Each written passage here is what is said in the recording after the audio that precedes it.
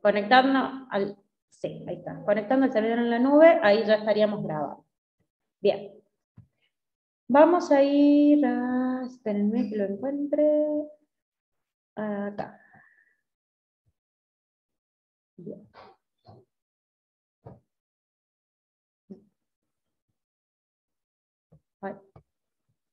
Esperen, esperen.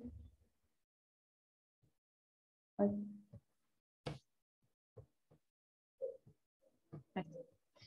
Bueno, ya les comparto lo que estoy viendo.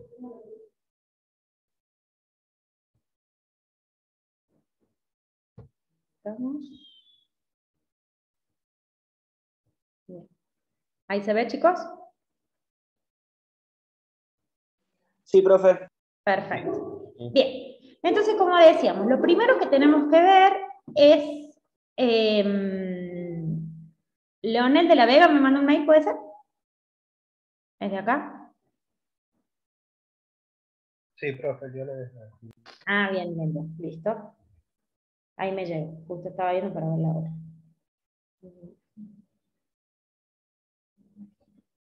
Ahí. Bueno. Bien. Entonces, lo primero que tenemos que entender es qué es el hombre, por qué lo tenemos que estudiar y cómo entendemos que es un ser social. El hombre, en realidad, como les dice acá la diapositiva, dice que el hombre es del género, género perdón, animal, pero que está dotado de pensamientos, raciocinio y sentimientos. Por eso decimos que el hombre es un ser social, racional, disculpen, y espiritual. Y esto es lo que lo va a distinguir del resto de los hombres.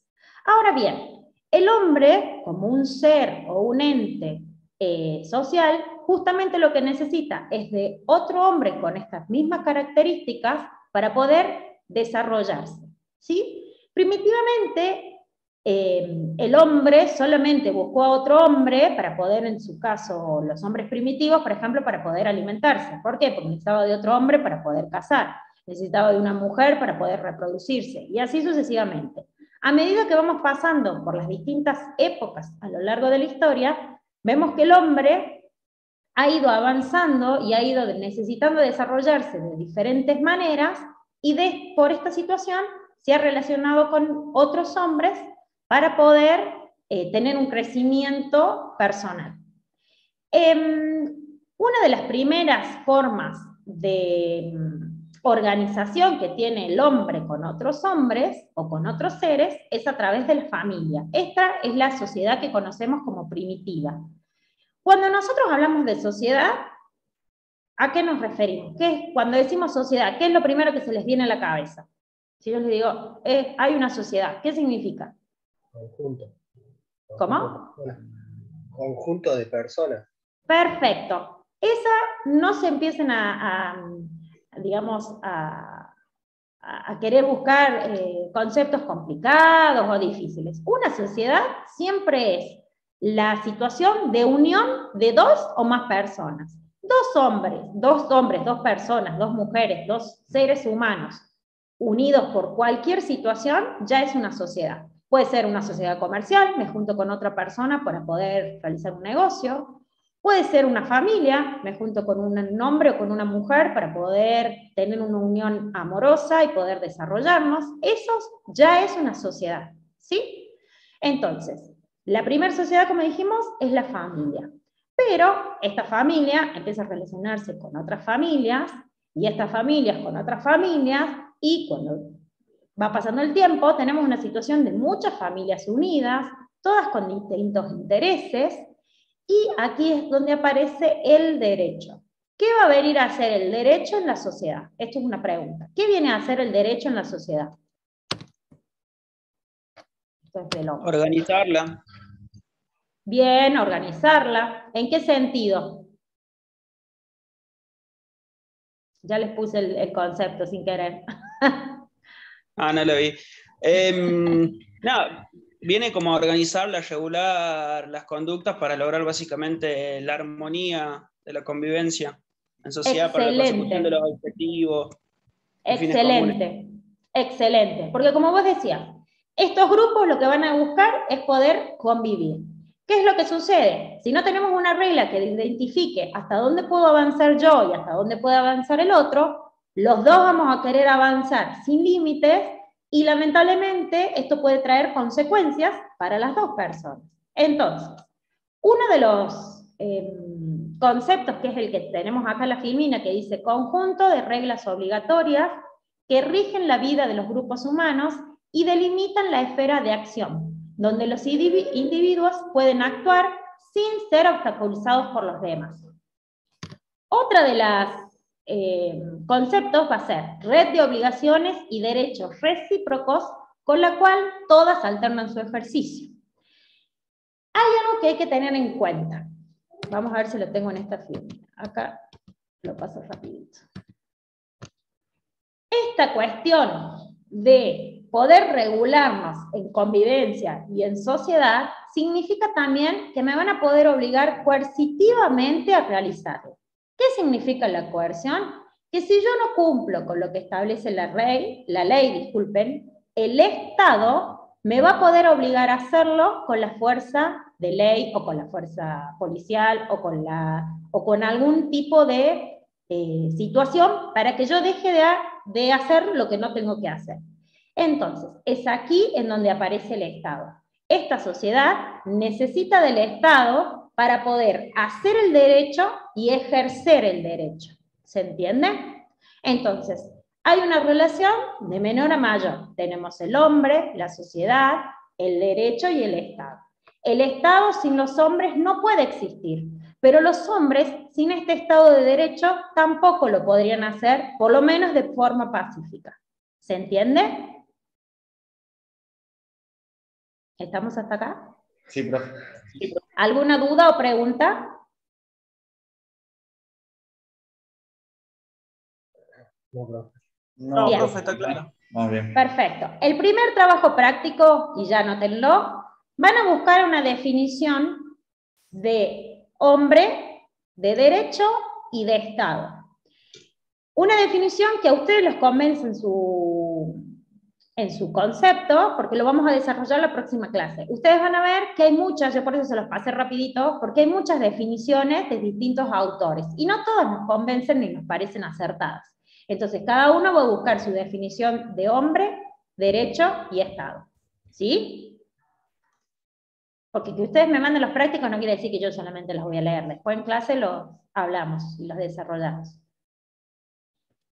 Bien. Entonces, tenemos al derecho como tal, este derecho va a venir a regular las relaciones humanas, estas relaciones humanas que han nacido en esta sociedad, a la que hemos eh, decidido voluntariamente pertenecer. ¿sí? Eh, este derecho va a tener una división. La primera división que encontramos en el derecho es que puede ser derecho natural o derecho positivo. El derecho natural es la ley no escrita, es el tipo, por ejemplo, alguna, hay normas éticas o normas morales que sí están escritas, pero hay otras normas éticas y morales que no las encontramos escritas en ningún lado. Yo les pongo un ejemplo. Seguro ustedes después se imaginan un, otro ejemplo más. Pero supongamos que algo que comúnmente nos sucede, vamos pasando por la calle, paramos en el semáforo y tenemos al chico que nos limpia el vidrio. ¿Hay alguna ley que establezca que tengo que darle moneda o plata al chico? No, en ningún lado dice que lo tengo que hacer. Ahora bien, para mí me parece que está bien que este chico, digamos, un, un, argumento que muchos utilizan, prefiero que este chico esté acá limpiando los vidrios, que por lo menos está haciendo algo, que para mí es beneficioso porque limpió mi vidrio, entonces yo le voy a pagar por el servicio que para mí presto. ¿Se entiende? Sin, sin embargo, no está escrito en ningún lado. Otras situaciones, por ejemplo, algunas personas que están pidiendo, vieron en las iglesias, afuera de las iglesias, puedo no darle, ¿sí? ¿Dónde, ¿Quién va a poder establecer un rigorismo? Tal vez mis pares. Es decir, si yo voy caminando y no le di plata, y de atrás va a decir, ay, mírala esto, ¿cómo no le dio una moneda a ese pobre chico? O si estaban limpiando el auto y el auto de atrás dice, mira, le limpió el auto y no le dio nada, ¿sí? Pero es una coerción, digamos, de nuestros pares. no existe una ley escrita que diga que yo lo tengo que hacer o que no lo tengo que hacer. O, por otro lado, tenemos el derecho positivo. El derecho positivo es el derecho que está escrito, el derecho que se ha, sido creado a, a, través, en el caso de mm, nuestro país, a, a través del Congreso de la Nación. ¿Alguien sabe por quiénes está compuesto el Congreso de la Nación? ¿Cómo está compuesto? Lo vamos a ver, pero es como para ir viendo. El que quiere contesta, acá nadie se burla de nadie y siempre con respeto. Por los diputados nacionales y senadores.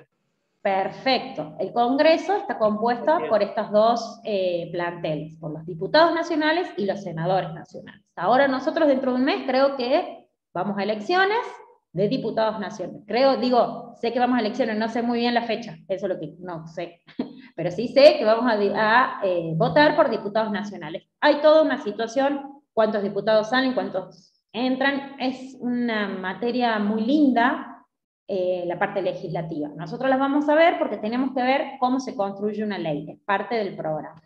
Bien, entonces dijimos, la diferencia entonces entre em, derecho natural y derecho positivo. Dentro de este derecho positivo es donde vamos a encontrar las diferentes ramas del derecho. A su vez, dentro de esta eh, rama de derecho positivo vamos a encontrar el derecho subjetivo y objetivo. Y para esto les tengo un videito. Es un video de YouTube, de YouTube, perdón. Yo no lo hice, pero me pareció interesante. Eh, lo voy a compartir, si no se ve o algo, me avisan, ¿sí? Dejo de compartir esto y me voy a YouTube. Eh, Espera.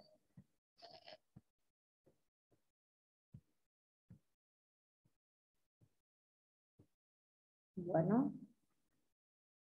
Ah, desconozco chicos si mm, yo compartiendo ustedes lo van a escuchar el video.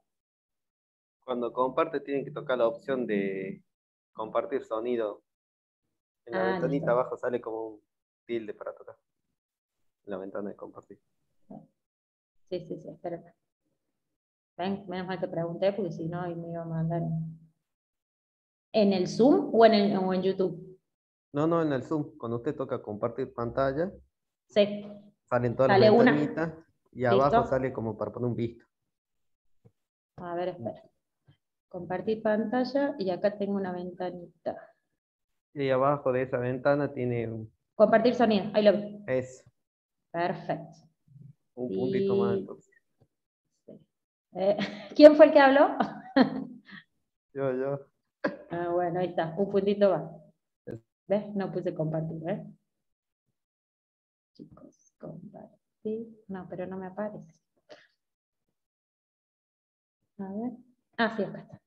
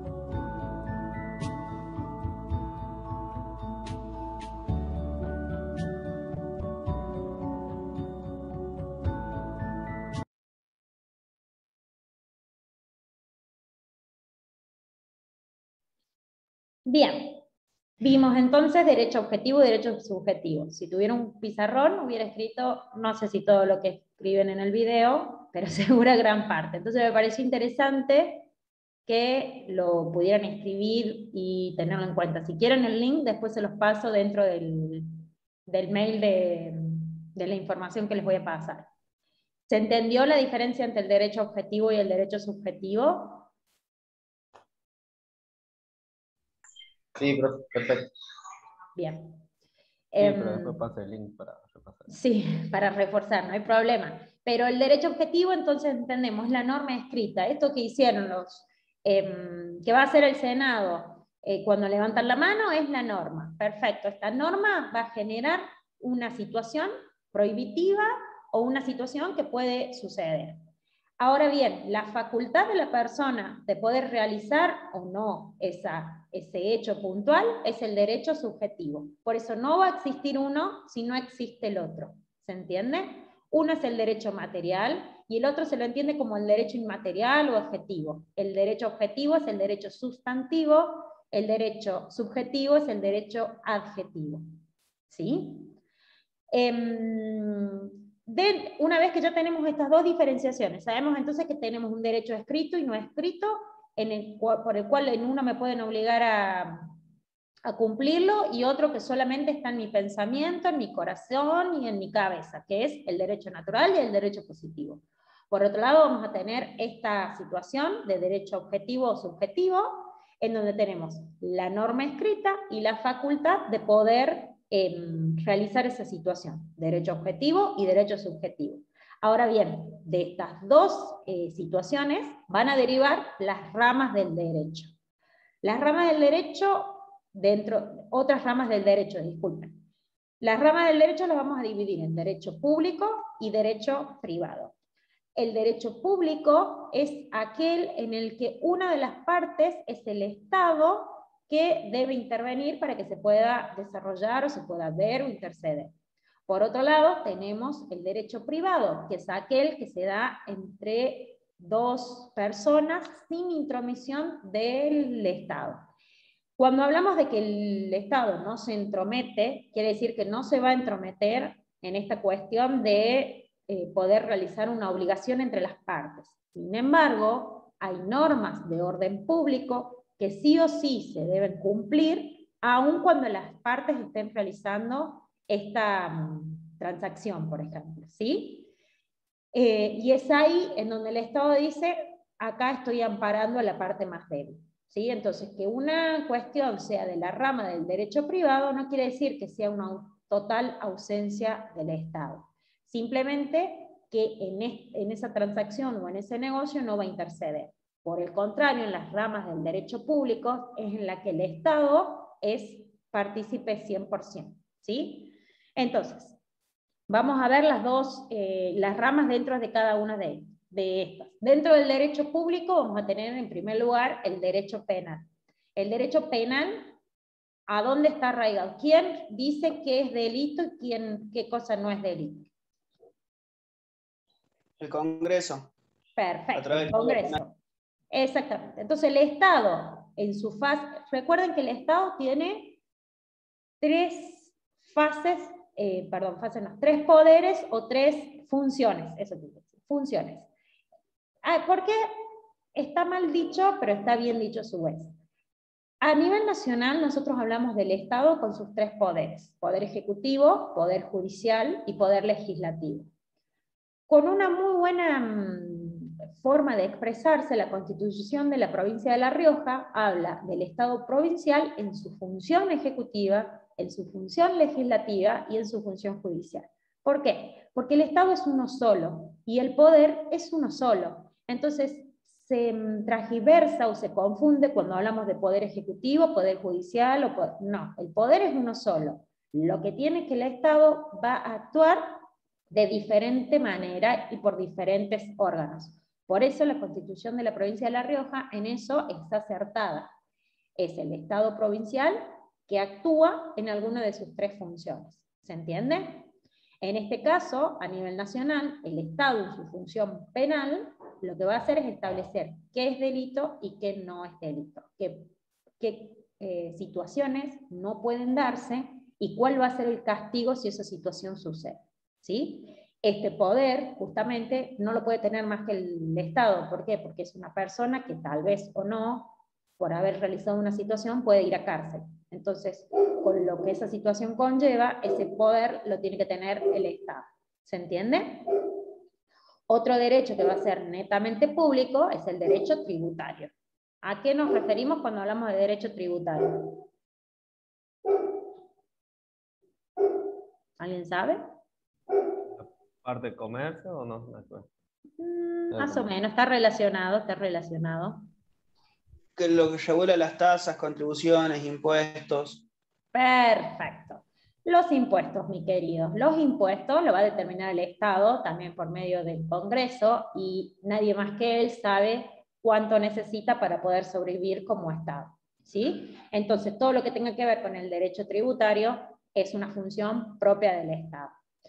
Em, ahora bien, otra función también tiene que ver el derecho administrativo, que es el derecho que es propio, se los quiero facilitar para que se entienda, es la materia propia del Estado en su función administrativa. Por ejemplo, cuando hablamos de un empleado público, el empleado público genera un, eh, eh, digamos, en su situación de empleo, por ejemplo, solamente podrías dejar de ser empleado público mediante un sumario administrativo.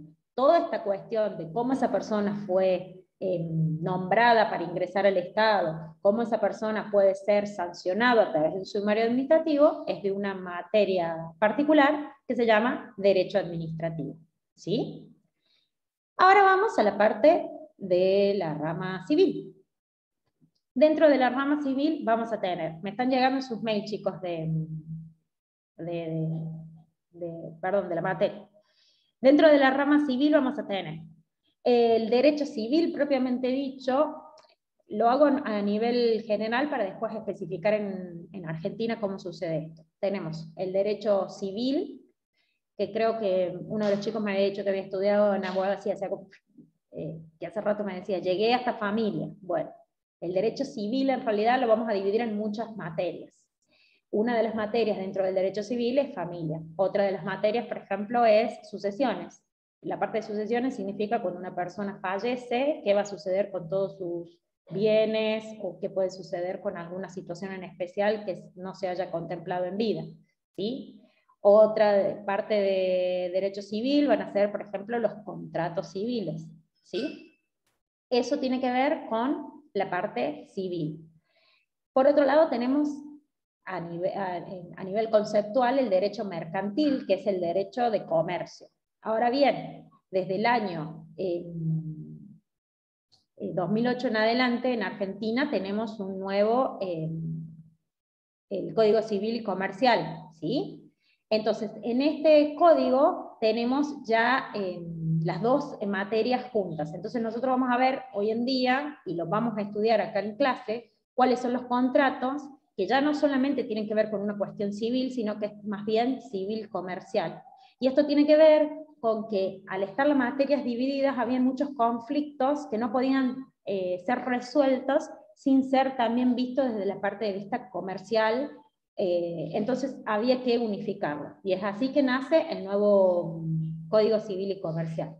Este nuevo Código Civil y Comercial, ya cuando los tengamos que ver, yo les voy a pedir que veamos algunos artículos en particular. Lo que tiene eh, como bueno es que antes tenía que ser solamente analizado por abogados, porque la verdad es que era como era de la época de eh, Vélez Arfiel, entonces eran por ahí con demasiados términos jurídicos, que inclusive de artículos, de palabras de los artículos, los, autores hacían grandes libros porque eran como que había que situaciones muy rebuscadas. Hoy en día el nuevo Código Civil y Comercial es de muy fácil lectura y de muy fácil entendimiento.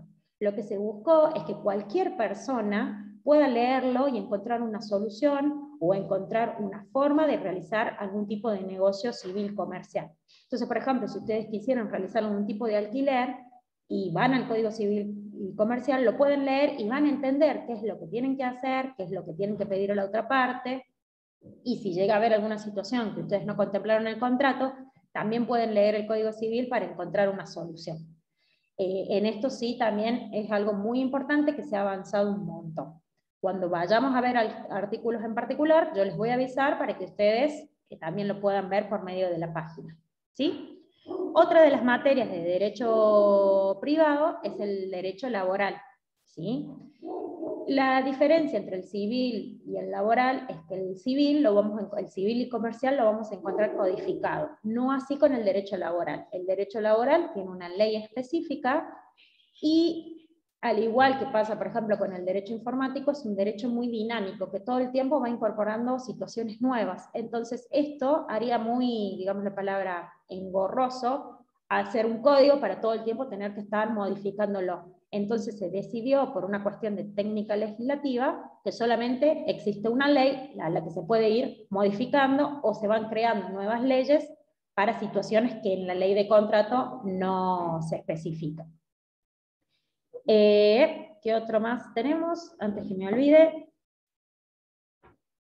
Bueno, y acá me dice derecho inmobiliario que está dentro del derecho civil. Bien, hasta acá, ¿todo bien? ¿Se entendió? Sí, profe. Bien, bien. Em, ¿Cómo? Va bien, va bien. Ah, va bien, va bien. Em, lo que tenemos, con lo que deberíamos seguir ahora es con fuentes del derecho.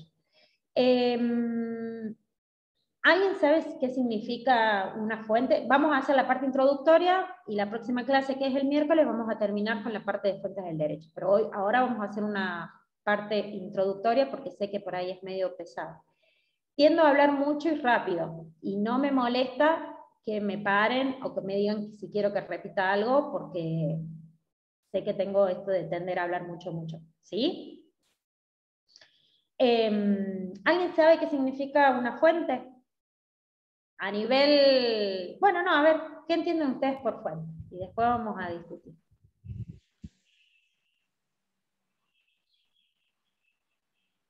De donde nace algo. Bien. El origen. Bien. ¿Por qué les decía que podía ser cualquier, porque en la parte electrónica no se llama fuente también como fuente de alimentación, una parte electrónica o eléctrica? Bien. Y tampoco está mal. ¿Por qué? Porque hay palabras que tienen eh, distintas acepciones, ¿sí? Por ejemplo, derecho como palabra también tiene distintas acepciones. Eh, lo conocemos como este conjunto de normas que van a regular la convivencia, o también podemos decir que derecho nos referimos a que una, una cosa no esté torcida, ¿sí? Por ejemplo. O podemos referirnos a la dirección, izquierda o derecho, ¿se entiende? Entonces, nunca está mal. Eh, por eso yo creí que iban a ir por la parte electrónica. Pero hablando acá en derecho puntualmente, una fuente es eso, de dónde emana algo. La mejor forma de darnos cuenta es pensar en una fuente, por ejemplo, en una plaza. De la fuente de la plaza, ¿qué va a emanar? Agua. ¿sí? Entonces nos damos cuenta que emana algo, emana agua. En el caso del derecho puntual, lo que vamos a buscar son fuentes materiales, vamos a hablar como una primera clasificación de fuentes materiales y de fuentes inmateriales. La fuente inmaterial la vamos a identificar como aquella situación que amerita ser regulada o que amerita tener una observación particular. ¿sí? Desde de esta situación inmaterial, porque ha sido un hecho, una situación que se ha visualizado, van a ser la fuente material. La fuente material va a ser em, ya sí eh, una acepción de la cual van a ser una ley, una norma o una acción a, tener a, realizar. ¿Sí? Em, Dentro de estas fuentes materiales es donde vamos a ver las distintas clasificaciones, que es ley, costumbres, jurisprudencia, que cuando vimos el videíto de eh, derecho objetivo, eh, ya había una primera clasificación, que decía normas, resoluciones eh, judiciales, fallos, costumbres, todas estas son fuentes materiales de derecho. Pero la próxima semana ya vamos a hablar de cada una de estas y vamos a empezar a hablar de los sujetos de derecho. Bien chicos, eso es todo por la clase de hoy. voy a estar esperando los mails para poder mandarles ya las unidades. Em, ¿Hay alguna duda o consulta a Lucas o Carbrack? Ya están todos entonces. ¿Alguien sabe? Ya hay 11 personas. Capaz que me esté faltando alguna alumna. Recuerden el 80% de la asistencia. Em, y bueno, eh, al quien haya entrado tarde, por favor consúltele a los compañeros qué es lo que se habló en clase, que le parece importante. Y em, hay alguno que tenga alguna duda, alguna eh, consulta de lo que vimos. Esto por ahí es más fácil en clase porque vamos haciendo los, los, eh, la ayuda a memoria, digamos, en clase, o los cuadros sinópticos en clase. Sin embargo, voy a tratar de buscarles diapositivas y alguna otra eh, forma para poder ir escribiéndoles y que les sea más eh, fácil de retener la información. No, profe, por mi lado todo, claro, estuvo clarísima la clase. Perfecto. Recuerden, si hablo mucho o hablo rápido, profe, espere, no tengo ningún problema. ¿Sí? No me ofende. Bueno, chicos. Entonces, nos vemos el miércoles que viene. Recuerden mandarme los mails, así ya les voy mandando la información y el programa. Cualquier otra duda o consulta que puedan hacer, que quieran hacerme también al mismo mail, no tengo ningún problema de la duda que sea, ¿sí? No tengo ningún problema, mándenme a preguntar por ahí. Y ese va a ser mi canal, eso es lo que les quería explicar.